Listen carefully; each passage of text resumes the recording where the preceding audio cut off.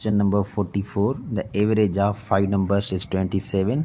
If one number is excluded, the average becomes 25. The excluded number is देखिए पाँच number थे जिनका average था 27 उनमें से एक नंबर निकाल दिया एवरेज बन गई 25 तो जो नंबर निकाला वो कौन सा नंबर है यही क्वेश्चन है देखिए जब पाँच नंबर थे जब टोटल नंबर थे पाँच तो इसका मतलब है एवरेज आई twenty seven so twenty seven को इससे हम करेंगे मल्टीप्लाई सो जब आप ट्वेंटी सेवन को पाँच से मल्टीप्लाई करते हैं तो वन थर्टी फाइव आंसर आता है.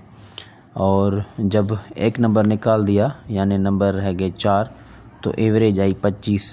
सो इसको पच्चीस से मल्टीप्लाई करें, यानी चार नंबर का जो सम मिला, वो था हंड्रेड यानी जो नंबर हमने निकाला वो इनका डिफरेंस है.